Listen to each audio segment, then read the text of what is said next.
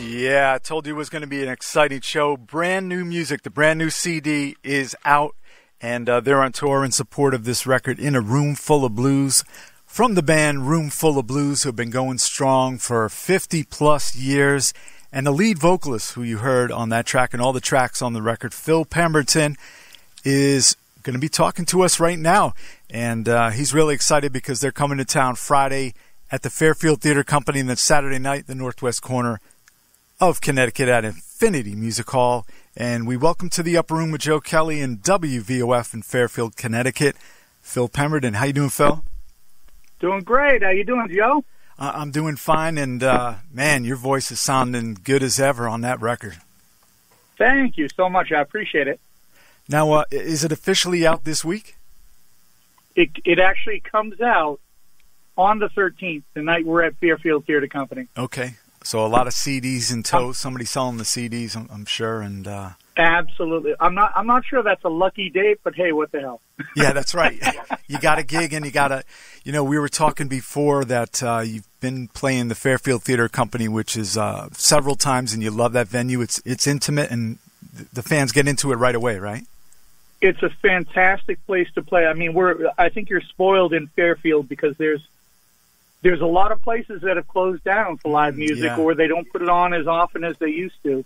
And you have a great venue there that's doing nothing but expanding, man. They're and they they treat the artists really well. All the people who work there are fantastic. You got a good thing going on. and, and it's really nice because we were like starved for for blues music, and I'm not putting down the clubs up in Hartford and everything, but you know, uh, I got I got friends, uh, Ronnie Baker Brooks, who's coming to town, and you know, we're always like, yeah, we got to have a spot around here, and Fairfield Theater Company and and the Warehouse have just made it a stop for the Alligator family and Roomful of Blues. Well, trust me, we appreciate it when when we find a venue that we lock into, Mhm. like I think we do at, at FTC. Um, we want to just hold on to it. We we have so many people who love to see us there in particular because it's just an intimate feel. You're, you're almost on top of the band, you know. Mhm. And people still get up and dance. I, I always tell people, even if someone tells you to sit down, just if you want to get up and dance, go ahead. You know, Right, right. we outnumber them. Because that feels great for for when you're looking in the crowd. I'm sure it's a big big charge for you. Absolutely. Well, just to get the energy back and forth, Mhm. it really makes a big difference. Like people, I think people come out and think the band is just going to put on a show, but a large part of the show is the energy that we get back from people. That that pushes us, and then it pushes them, then it pushes us. It goes back and forth. And at a place like FTC, you really get close to the people. You're almost sweating on top of them. I hate that sounds gross, Right. actually, but know you're you almost sweating on top of them, and it's really, it, it, it's really powerful. It's much more powerful than you know watching in an arena somewhere. Exactly. Um, Phil Pemberton is my special guest, the lead vocalist with Roomful of Blues and their website, roomful.com. In a Roomful of Blues, the uh, official release of the new record is this Friday night at the uh, excuse me at the Fairfield Theater Company, and the next night you'll be up in uh, Infinity Music Hall, another great venue, a lot of history there um, in the northwest part of the state. Up in Norfolk, yep. Yeah, Norfolk, and uh, let's talk about this record. I mean, how how many uh, years in between this one and, and the last one? The last record came out about six years ago, Okay, but um, since I've been in the band, I've been in the band for ten years. Mhm. We've come out with three records, and the last two, we really didn't introduce any new music. The first one I was on was an album called Hook, Line, and Sinker. right. which we picked. We picked a lot of our favorite tunes from different air, different times and different artists. The last record we did, Hook, uh, excuse me, uh, uh, 45 Live, was kind of a a bunch of Roomful songs, some that they had covered and some that were original Roomful songs from the different generations of the band. But this is the first record that's almost all original. I think we threw in two covers just for the hell of it, but they're obscure stuff that the band just likes to do but uh, the other 11 songs are original songs that we all wrote together. Um, so we're really excited for that, mainly because there's so many good songwriters in the band, you know? And we're gonna get into a track right now, and and the, this is the early favorite on on my listen for this one, and and you co-wrote this song, "You Move Me," oh, this, Chris. this, is for, this is for my wife, so I'm glad you're playing it. yeah, yeah, I love this. I mean, you know, you know, on first listen, this, this was a big standout for me. I knew I had to play it when I knew you were coming on. So uh, you wrote it with Right Chris, on, your thank you. guitarist, and uh, the the songwriting process between the two of you on this one. How did it go? It was it was fairly simple. Chris and I write a lot of stuff together, but this is the first one that we've actually written together and put on a CD.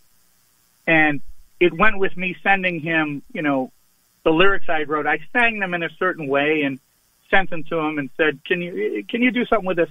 I'm a very hacky musician when it comes to guitar and piano, so I, I didn't want to interrupt what he would do. So I pretty much just sang them into a recorder and sent them to him. And he said, "You know, this sounds like kind of like a stack sort of thing." Mm-hmm. and he put some he put some chords to it and sent it back to me and then uh, you know I listened to it a little more then we got in the studio together and just recorded a couple tracks like a rough demo track and uh that's how that's how it all came together it was pretty much a, just a back and forth you know Yeah, we're going to listen to it right now here on WVOF. Joe Kelley and Phil Pemberton, Roomful of Blues, coming to town Friday night at the Fairfield Theater Company. This is a song from the new record in a Roomful of Blues, written co-written by uh, Phil Pemberton. This is called "You Move Me." Yeah, "You Move Me" from Roomful of Blues, setting it off with a new record in a room full of blues and co-written and the voice on that is my guest right now phil pemberton yeah when when it's faded out right there i heard Stax right there so that was cool Yeah. so that's uh, what I heard when I when I was trying to write it and let me just say that is the that's the first song I wrote for my wife who's been asking me for like 20 years we've been together oh wow so, to write it. yeah She's like, "Why haven't you written a song for me?" you know, lovely British accent, and and I finally put one on a CD. Where, where'd you meet your wife one. where'd you meet your wife Uh, I actually met her. Uh, she came over to work in the United States, and I was playing a gig at this small little club in Cambridge, Massachusetts. hmm And some crazy English woman came up to me, oh okay and she was crazy. Not my not my wife. right okay It was some crazy English woman who came up to me and said, "I know someone you would love." And I said, "Yeah, yeah, yeah. I need to meet women. That's what I need in my life." and uh, she brought her the next week, and I've been with her ever since. We have two kids. We have a lovely home together, and uh, this this crazy woman who I don't even remember her name was right. So That's right. Yeah. So so you're having a happy life and making music, doing what you love, and let's go back in time. Uh, you've been with Roomful of Blues for ten years, and uh, you've had Yep. your own band. You've toured all over the place. Um, Mhm. But you, the lead singer of Roomful of Blues, how how did that come about? that actually came about in a, a weird way. Um, I had my band going, playing the playing all over New England. We went out of the country quite a few times too, but I had one day when the keyboard player I was playing with, a guy named Bruce Bears, who plays with Duke Robillard and a bunch of other people, um, he couldn't make it. He was out on tour with Duke Robillard, and we had this kid named Travis Colby sit in, and I didn't know Travis. Uh, my guitar player knew him and said, "Oh, he's a keyboard player for Roomful of Blues." I went, "Oh, he must be good then. Great, yeah." After the gig, he said, "Hey, I'm I'm getting married next month. Would you play my wedding?" And I said, ah, "I'm not really a wedding band. That's not really what I do." He goes, "No, no, I'll play blues and soul and whatever you just played, and that'll be great. That's what we want to hear." hmm So I got up to the wedding, and there were about a hundred people, and nine of those were the current member or were the former members of Roomful of Blues. Um, and I found out that the singer was going to be leaving. He just didn't. He, he didn't want to go on tour. He didn't want to be, you know, going on the road too much. And uh, over the next three months, I kept getting phone calls like, "Hey, would you be interested? Hey, do you think maybe you'd want to? Hey, do you?" And it was from different members of the band. so after like three months, uh, Chris Vachon called me up and said, "Hey, I heard you might be interested." And I guess they all liked what they heard that day, and uh, Right. they haven't been able to get rid of me since. Yeah. Yeah. Great. Great. Uh, and this is that. That's a great story on how things. And that's a lot of things happen in the music biz like that, right? Yeah, it's just someone knows someone. Like our current, uh, a couple of our current uh, players hmm came in that way. Um, they just had played with someone in another band somewhere in another state, and they're like, "I know this guy who, you know, our drummer's going to be leaving. I know this guy who who would be fantastic." And it always works out that way. Just we know someone, we try him out, and it turns out he's a great player. You know. Uh, I'm looking at the schedule right now. I'm jumping ahead, but I got a spot. Um, I might make the trip up there to Saratoga Springs at Cafe Lena uh, Saturday, April 25th. So that's be... a very cool place. Very cool place. Yeah, we love Saratoga Springs and Roomful of Blues, and they'll be right here in town, right about five minutes from the radio station here on Sanford Street, the Fairfield Theater Company this Friday night. Official CD release night at uh, Fairfield Theater Company Stage One, and uh, showtime 7:45, and then tomorrow, uh, excuse me, Saturday night, eight o'clock at the Infinity Hall, Norfolk, and uh, that is on Saturday night. Have you played? Uh, I believe they have one in Hartford too, right? They have one in Hartford as well. We we tend to play um, every six months. We play at an Infinity Music Hall. Oh, okay. Uh, they they they circulate us from Hartford, and then we go up to uh, Norfolk the next time. All right. Before we get six into months, it, we're at one of them. Right. hey, they they love what you do, so that that's great to it hear. It seems to work out. So.